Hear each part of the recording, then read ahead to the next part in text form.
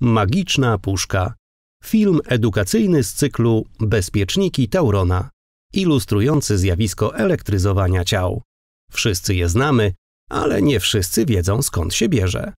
Akcja filmu rozgrywa się w przestronnej, nowoczesnej i gustownie urządzonej kuchni, pełnej kwiatów i słońca wpadającego przez wielkie okno, a głównym bohaterem jest tu starszy pan opiekujący się dwójką swoich wnucząt.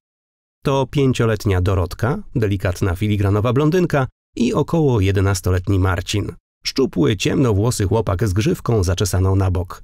Dziadek to wysoki mężczyzna po sześćdziesiątce, w okularach, ciemnych dżinsach i niebieskiej koszuli.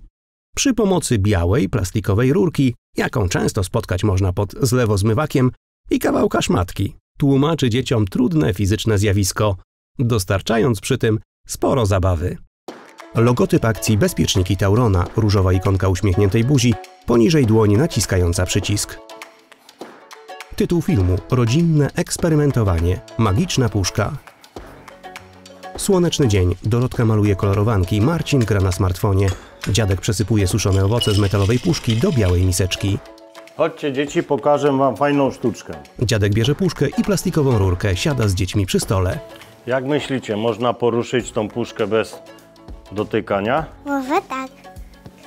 Można dmuchnąć. No spróbuj.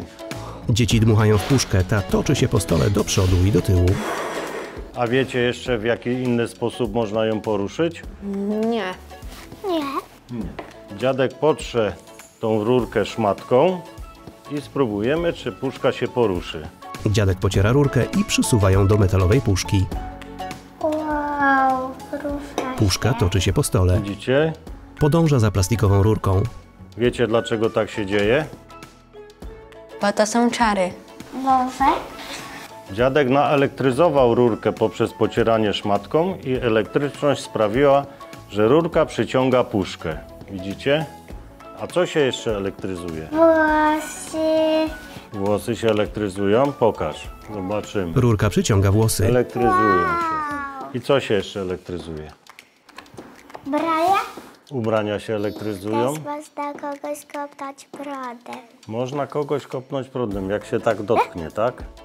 To pobawcie się teraz tą puszką, spróbujcie ją przetoczyć po całym stole. Marcin pociera rurkę szmatką i przysuwa do metalowej puszki. Ta toczy się po stole, przyciągana przez rurkę. Dorotka uśmiecha się. A to jest śmieszne trochę, co?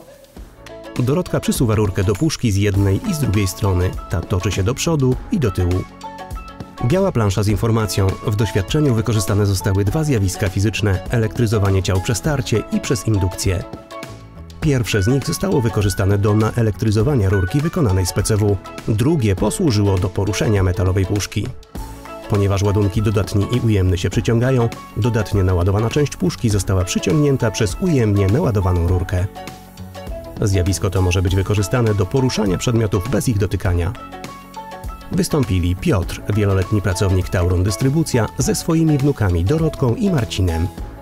Na białym tle logotyp akcji Bezpieczniki Taurona i Tauron Dystrybucja. Poniżej napis Film powstał w ramach programu edukacyjnego Bezpieczniki Taurona Włącz dla dobra dziecka na zlecenie Tauron Dystrybucja SA.